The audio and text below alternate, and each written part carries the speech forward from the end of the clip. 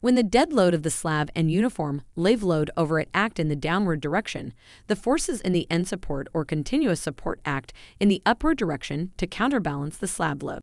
This action creates two types of bending moments in the structure. They are sagging bending moment and hogging bending moment as shown in the diagram below.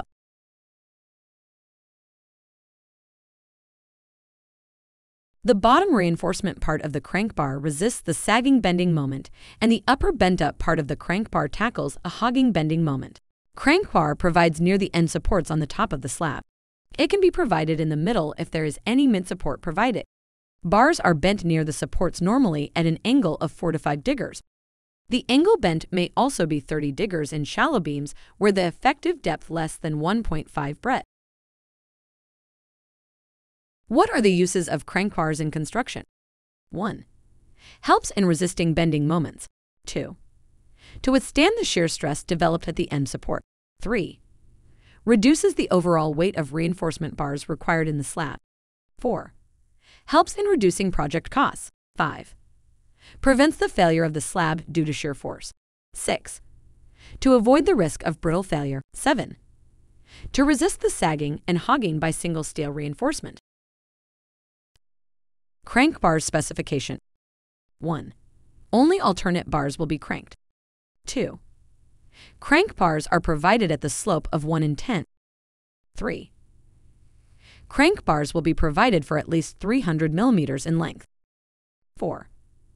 Crank bars will be provided at different angles, such as 4 to 5 degrees or 30 degrees based on the beam depth. Why do we provide alternative crank bars in slab reinforcement? It is recommended that a maximum of 50% of the bars can be cranked to resist the bending moments so that steel is present in every cross-section of a slab. The alternative bent-up bars are sufficient to withstand the resulting shear force near the support. From an economic point of view, we provide alternate crank bars so that these bars are kept within a specified limit. At what distance bent-up bars are cranked in a slab? Crank bars are bent up at a 4 to 5 degrees angle with the bottom end is at 0.15 times length 1 from the center of the M support. At the continuous support, crank bars bent up end are at 0.25 times length 1 and 0.25 times length 2 distance on either side from the center line of the support. Crank length equals d over sin 4 to 5 degrees minus d over tan 4 to 5 degrees equals 1.42 times d minus d equals 0.42. So crank length equals 0.42d, where d equals clear height of the bar. d equals thickness of slab minus top cover plus bottom cover minus diameter of the bar. Hope this video was useful for you.